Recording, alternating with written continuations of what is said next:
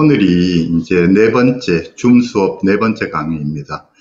오늘의 강의 주제는 원인이 무엇인가 해서 발병 원인에 대한 이야기입니다.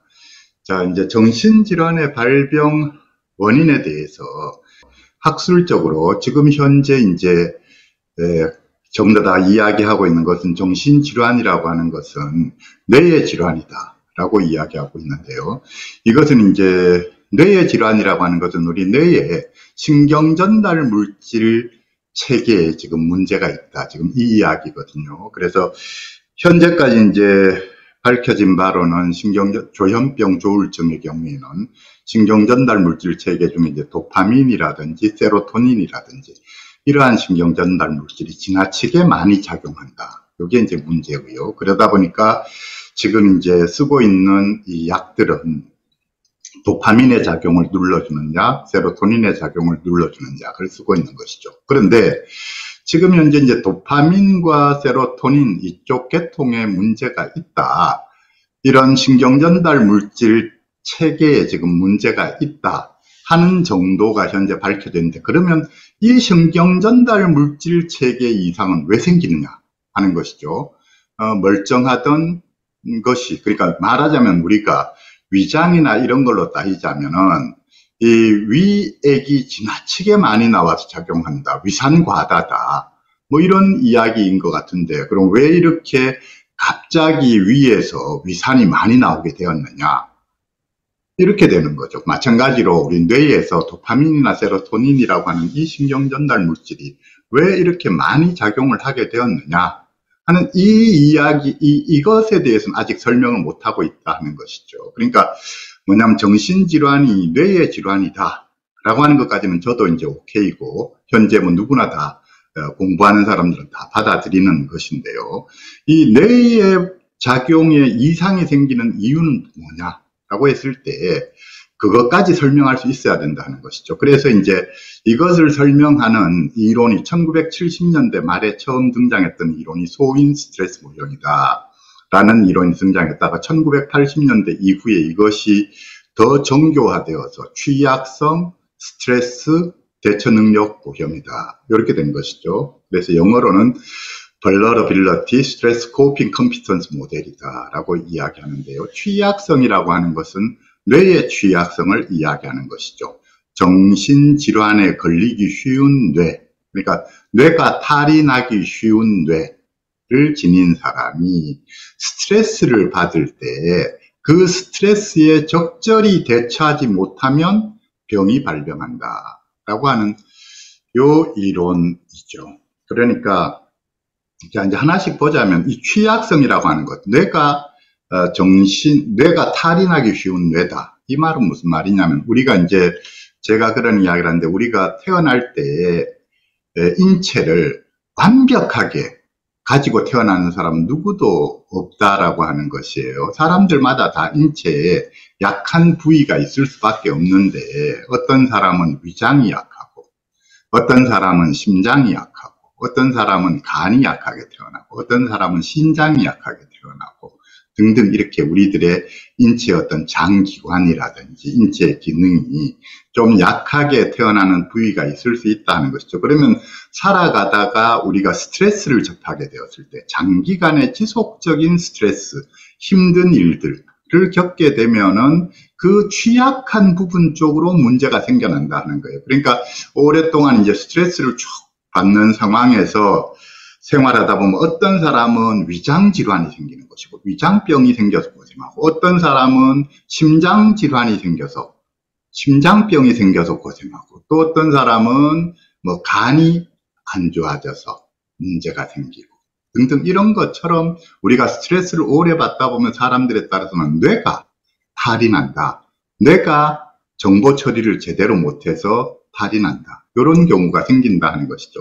그래서 제가 이제 이것을 비유해서 우리가 이해하기 가장 좋은 게 쉬운 게 위, 위장에다가 비유해서 생각을 하면 쉽다. 저는 이렇게 이야기하는데 우리가 이제 위장이 약하게 태어난 사람은 좀 낯선 음식을 먹거나 좀 거친 음식을 먹거나 맵고 짠 음식을 먹거나 이렇게 되면은 이 위장이 탈이 나서 어, 설사를 한다든지 구토를 한다든지 또는 위산이 과다하게 분비가 돼서 고생을 한다든지 뭐 이런 이제 문제가 생기는 거죠. 이 소화를 못 시켜 절절매는 거죠. 그것처럼 우리의 뇌라고 하는 이 기관은 뇌는 위장하고 되게 비슷한 기관이에요. 그러니까 위장은 음식물을 소화하는 기관인데 뇌도 소화를 하는 기관이거든요. 뭐를 소화하는 기관이냐? 뇌는 정보를 소화하는 기관이다.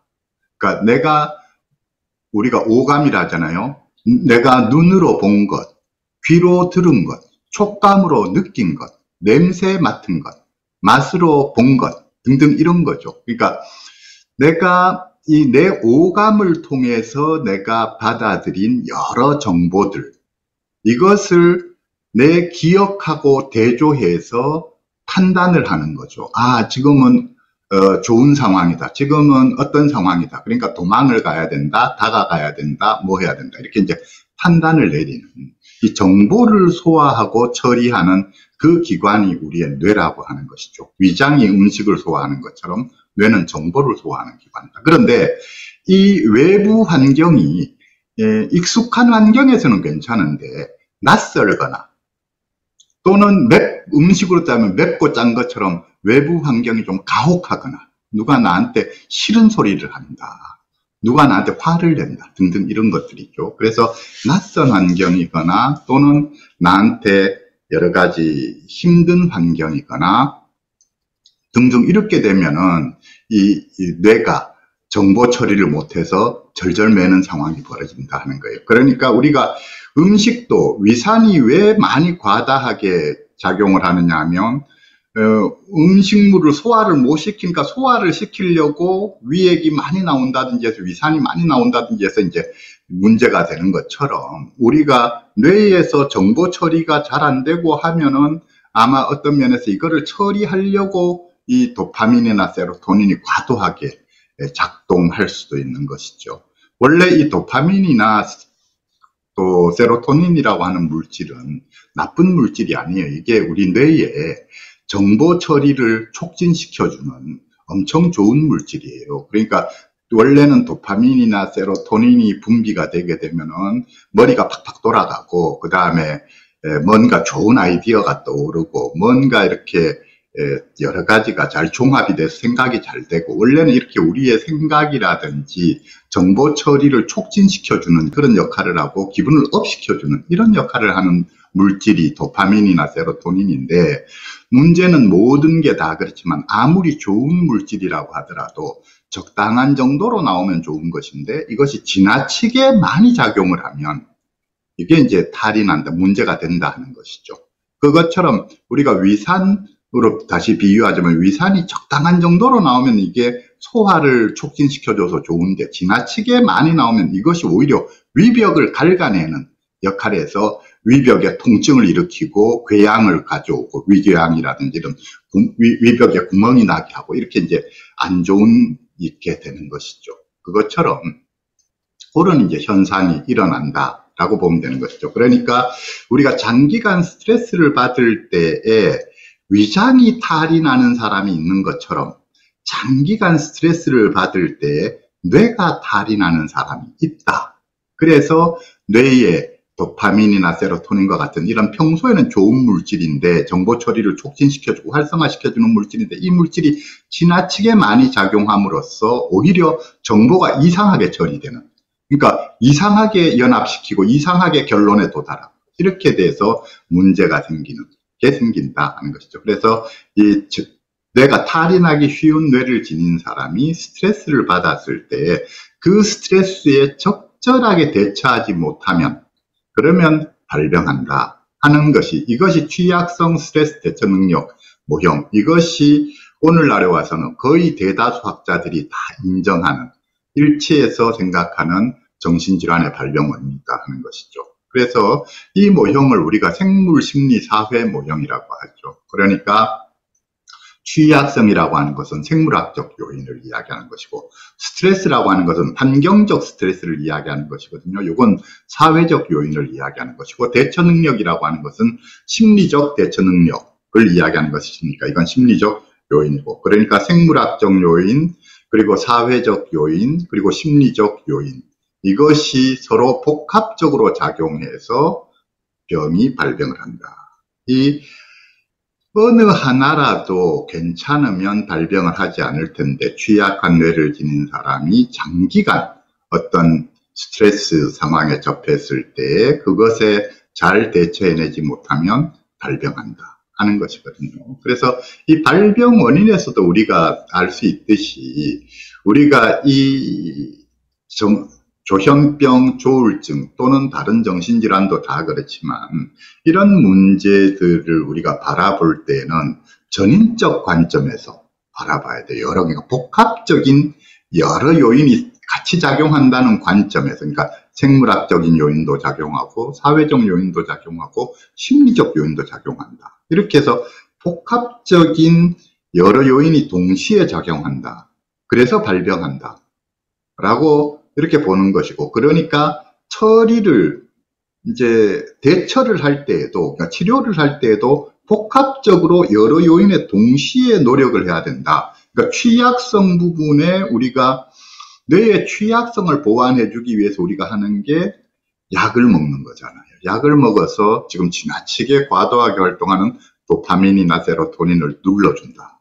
그 다음에 약을 먹는 것 이외에 취약성을 보완하기 위해서 매우 중요한 게 잠을 규칙적으로 잠을 푹 자주는 거 이런 생활 습관을 갖는 거. 이게 다 뇌의 취약성을 보완해 주는 거거든요. 그러니까 약을 먹어야 되고 잠을 규칙적으로 푹 자야 되고 이런 걸 해야 되고 그 다음에 이제 스트레스 부분에 관리를 해줘야 되죠. 그래서 환경적으로 해로운 스트레스 자극을 제거해 줘야지 되고 부득이 우리가 스트레스가 있을 수밖에 없는 스트레스라고 한다면 그 스트레스를 가능하면 최소화 시켜주고 그리고 그 스트레스에 대처하는 능력을 함양시켜주고 이렇게 이제 해야 된다는 것이죠. 그러니까 우리가 생물학적으로도 어떤 조치를 취해줘야 되고 환경에 대해서도 어떤 조치를 취해줘야 되고 그리고 심리적 측면에 대해서도 어떤 조치를 취해줘야 된다 하는 것입니다. 그래서 아무튼 이게 이제 학술적으로 설명하는 발병 원인이에요.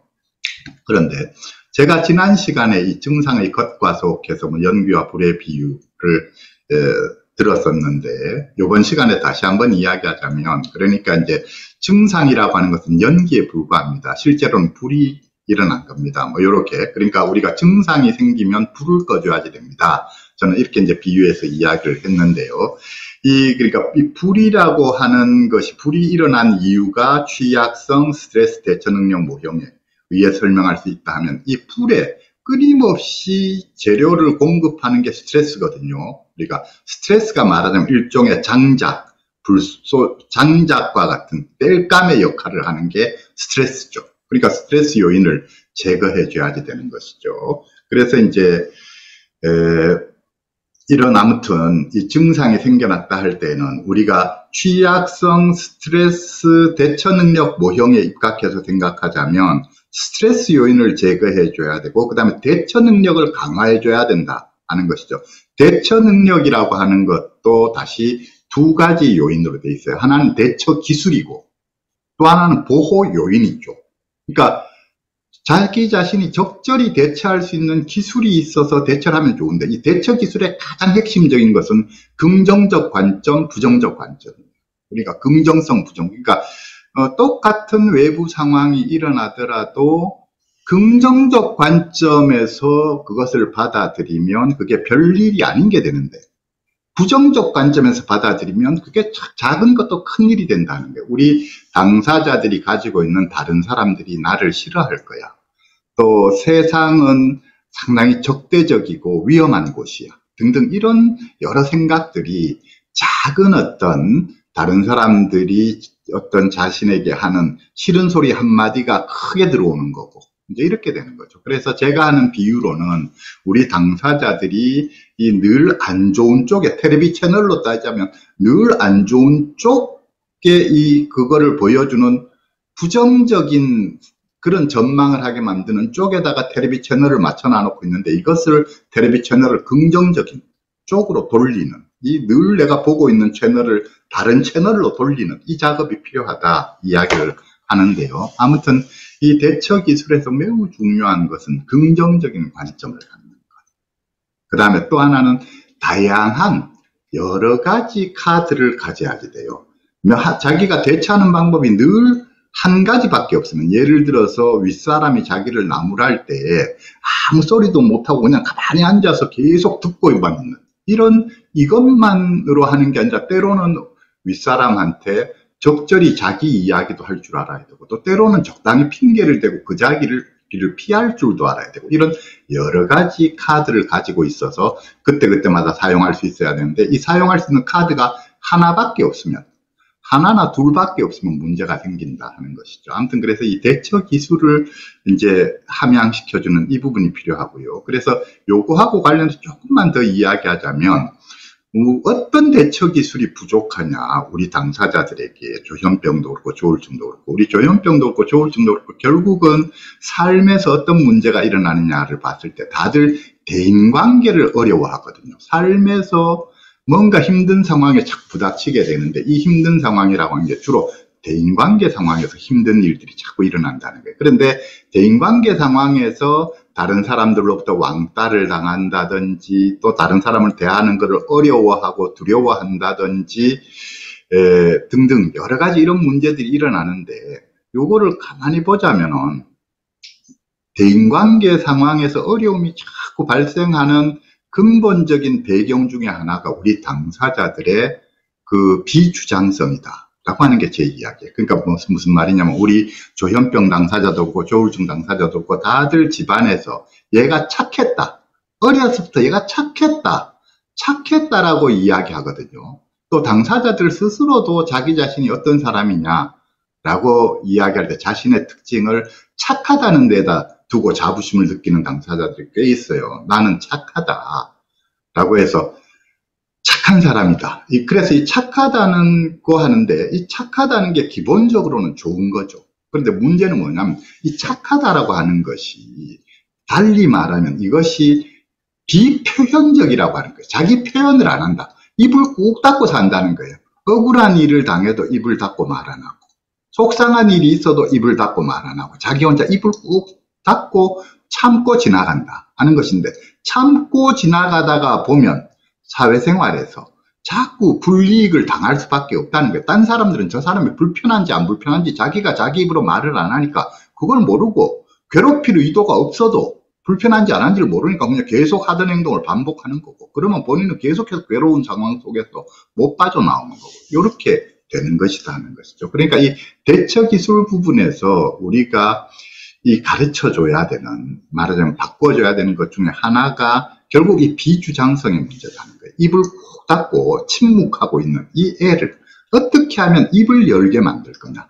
자기 속상한 이야기, 자기가 원하는 난 이랬으면 좋겠다는 이야기, 자기 속마음을 이야기할 수 있는 애로 만들 거냐. 저는 이게 이제 관건이에요. 그래서 하나가 비주장성의 문제고, 그 다음에 또 하나가 아까 이야기했던 부정적 관점과 긍정적 관점이죠. 결국 이 부정적 관점을 가지고 있는 애를 어떻게 긍정적 관점으로 자기 자신에 대해서도 그렇고 세상에 대해서도 그렇고 타인에 대해서도 그렇고 기본 관점을 긍정적으로 바꿔줄 것이냐. 이 그러니까 비주장성의 문제와 비주장성을 주장성으로 바꾸는 문제, 그 다음에 부정적인 관점을 긍정적으로 긴 관점도 바꿔주는 문제. 이게 이제 대처 기술에서의 핵심이에요. 제가 볼 때. 그 다음에 이 대, 본인의 이 대처 기술을 바꿔주는 것만이 아니고 본인이 적절히 상황에 대처하지 못할 때에는 또 하나가 이 상황에 대처할 수, 대처하지 못할 때 이것을 막아주는 가족의 보호 요인, 주변 환경의 보호 요인이 이제 튼튼하면, 그러니까, 어, 그러면 또 이게 대처 기술이 없어도 어느 정도 버텨낸단 말이에요. 이걸 제가 비유할 때는 자동차로 따질 때 자동차 반박, 범퍼와 같은 역할을 한다. 외부 충격이 와도 외부에서 스트레스 자극이 와도 범버가 튼튼하면 외부 충격이 와도 범버가 튼튼하면 견뎌낸다.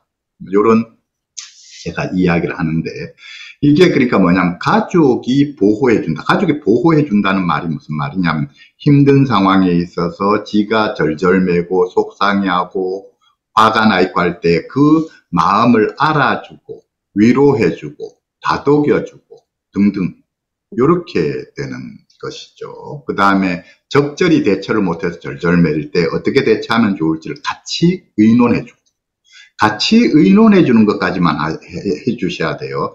대신 나서서 해결해 주는 건 하시면 안 돼요.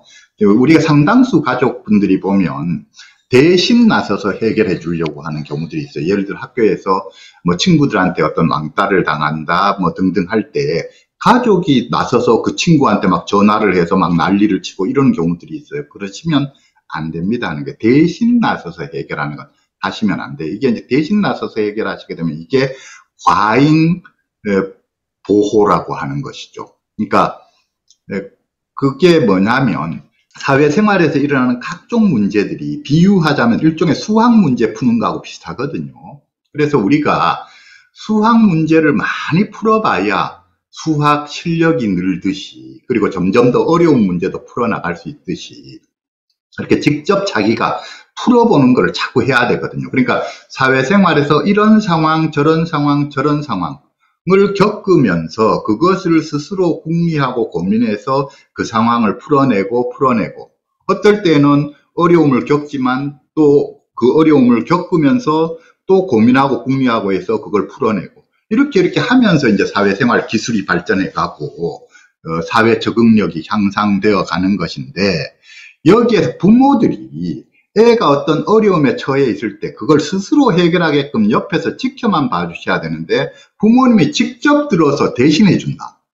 대신 사회생활에서 꼬였는 거를 대신해서 친구를 불러가지고 네가 우리한테 좀 잘해줘야지 그러면 되느냐 하고 해서 부모님이 자꾸 대신해 나서서 해결을 해준다. 이렇게 되게 되면은 애의 애가 자기 스스로 문제를 풀어가는 능력이 크지, 크질 않는다는 거예요. 그러니까 이게 약, 말하자면 온실 속의 화초처럼 약한 애로 자라게 된다는 거예요. 그러니까 부모님께서 자, 이제 발병하기 전까지 예, 상당수 부모님들이 그렇게 지나치게 과잉 보호를 해서 애를 약하게 키웠다면 지금 와서 이제 발병한 이후에 지금 와서는 자 지지해 줄 부분은 강력하게 지지해 줘야 돼요.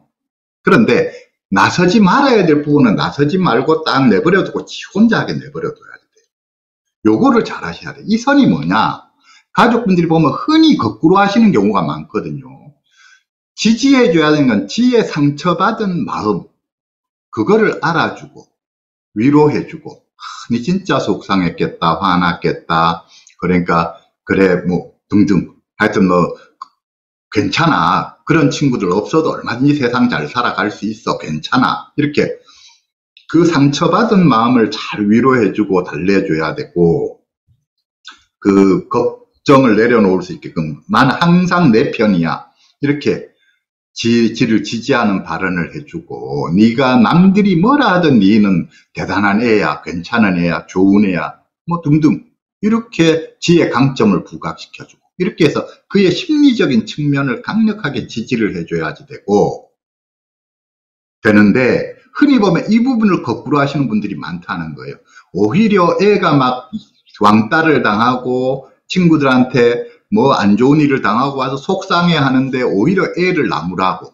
애를 네가 갖다가 처신처세를 똑바로 하면 이런 일이 생기겠느냐. 네가 뭐 뭔가를 잘못하니까 그렇지 라고 하고 이만한 일에 그렇게 질질 짜고 애가 바보처럼 남자답지 못하게 그러느냐. 나이에 맞지 않게 그러느냐.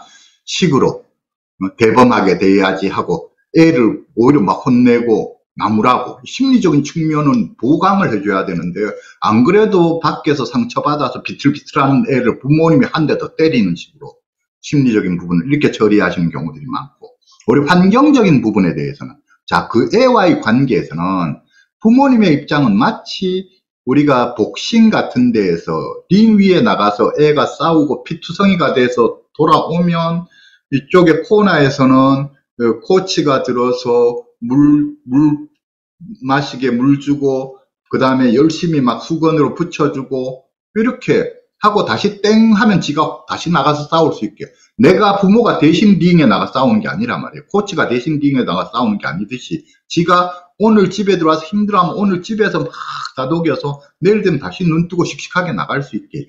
여기까지가 부모가 할 일인데 부모가 들어서 직접 그 친구를 불러서 뭐라 한다든지 직접 갖다 상황을 해결해 주려고 쫓아다니면서 막 해결을 해 준다든지 이렇게 하시는 경우들이 있는데 그렇게 하시면 안 됩니다. 그렇게 하면 지혜 능력이 커지질 않습니다 하는 거예요.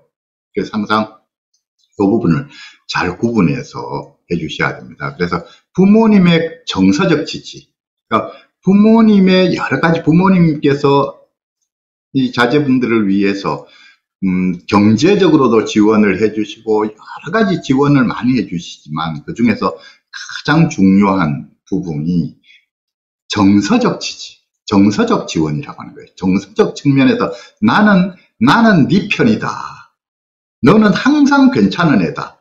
너는 대단한 애다. 괜찮은 애다. 이렇게 계속 이 정서적으로 어, 그 상처받은 마음을 위로해주고 정서적으로 힘을 되찾을 수 있게 해주고 이 노력이 매우 필요합니다 하는 것이에요. 그래서 그런 것이고요. 그 다음에 이제 증상이 경감되고 나면 회복기의 미해결 과제에 관심을 갖고 그것을 해결하는 데 초점을 둬야 된다. 뭐 이런 이야기를 했는데 회복기의 미해결 과제라고 하는 게 항상 대인관계에서의 문제, 그 중에서도 대인관계에서의 비주장성의 문제가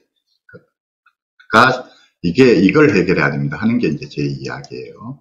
자, 그 다음에 또 지난 시간에 역시 이야기했던 건데 좀 더 이야기하자면 이제 스트레스 요인에 대해서 우리가 보면 이제 발병하고 나면 우리 당사자도 그렇고 가족들도 그렇고 다들 이래서 발병한 게 아닌가 하고 생각하는 것들이 있어요. 예를 들어서 어려서 부모님이 아버님이 애를 심하게 때린 적이 있는데 그것 때문에 애가 그게 병이 됐던 게 아닌가 이래 생각하시는 분들도 계시고 또뭐 어, 어려서 지가 막 그렇게 갖고 싶어 하고 사고 싶어 했던 게 있었는데 그거 안 사줘서 그런 게 아닌가? 이런 말씀하시는 부모님도 계시고. 군대에 가서 기한 많이 받아 그런 거 아닌가? 또는 뭐 대학을 자기가 서울대를 꼭 가고 싶어 했는데 서울대를 못 가서 서울대 시험에 떨어져서 그런 게 아닌가? 하시는 부모님도 계시고. 그 다음에 또 상당수 이제 부모님들이 하시는 말씀은 고등학교 중학교 고등학교 다닐 때 애들한테 왕따 당해서 그랬다. 뭐 등등 군에 가서 고참들한테 갈굼을 당해서 그랬다 또 연애를 하다가 실연을 당해서 채여서 발병을 했다 등등 이런 여러 이제 이야기들을 부모님도 하시고 당사자도 내가 그래서 발병했다. 내가 사랑을 고백했다가 채여가지고 그 길로 내가 발병을 했다. 부터 뭐 여러 이야기들을 많이 하시거든요. 근데 제가 하는 이야기는 뭐냐면 이렇게 가족분들이나 또는 당사자들이 내가 이렇게 해서 발병했다라고 말씀하시고 생각하는 그 모든 이야기들이 다 맞는 이야기입니다. 다 맞는데 부분적으로는 다 맞는 이야기예요. 다들 그게 발병하는 데 있어서 10% 영향을 미쳤던 20% 영향을 미쳤던 30% 영향을 미쳤던 부분적으로는 다 그게 작용을 어느 정도는 했습니다. 하지만 그것만으로는 설명이 안 됩니다 하는 거예요. 그것 이외에 여러 가지 요소들이 복합적으로 작용해서 발병하는 것이지 뭐 군대에서 심하게 두드려 맞았다 해서 그것 때문에 발병하는 것도 아니고 서울대 시험에 떨어졌다 해서 그것 때문에만 발병하는 것도 아니고 애들한테 왕따 당했다 해서 그것 때문에만 발병하는 것도 아닙니다. 여러 요소가 복합적으로 작용해서 발병하는 것입니다. 이야기고 복합적으로 작용해서 발병한다는 게 뭐냐 라고 했을 때 그것이 취약성 스트레스 대처 능력이 복합적으로 작용한다는 거예요. 그러니까 취약이 정 탈이 나기 쉬운 뇌를 지닌 사람이 스트레스를 받았을 때 장기간에 그것도 한 번의 큰 스트레스가 아니라 장기간에 수년에 걸친 지속적인 스트레스, 장기간의 스트레스, 우리가 가랑비에 옷 젖는다 하듯이 장기간의 스트레스를 지속 장기간의 스트레스를 받았을 때 그것에 적절히 대처해내지 못하면 결국은 발병을 하게 된다. 이런 이야기죠. 자, 그래서 그런 이야기고요. 그 다음에 이제 이 스트레스 요인에 대해 조금만 더 이야기를 하자면 발병 이전에 스트레스는 어, 결국 스트레스라고 하는 건 사회적 스트레스인데 이것은 대인관계에서의 발병 이전에는 대인관계에서의 어려움과 갈등, 그리고 가족관계에서의 어려움과 갈등. 우리가 이제 어떤 스트레스가 뭐가 스트레스냐라고 할 때, 뭐 일이 많아서 발병했다? 뭐 이런 건 거의 없어요. 뭐 공부의 양이 너무 많이 과중해서 발병했다 이런 거 거의 없어. 거의 다 대인관계 문제. 대인관계가 뜻대로 안 된다. 해서 발병을 하는데 저는 이걸 1차적인 것과 2차적인 거로 구분해서 이야기를 하는데요. 1차적인 거는 밖에서의 대인관계가 안 되는 거예요. 애들이. 집안에서의 대인관계가 안 되는 게 아니고 밖에서 학교를 갔는데 학교에서 친구들을 대하는 게 계속해서 불편하고 어렵다. 어떤 식으로 말을 하고 어떻게 이거 처신처세를 해야 될지 모르겠다. 늘 어렵고 복잡하다. 어렵다. 그러니까 부담스럽다.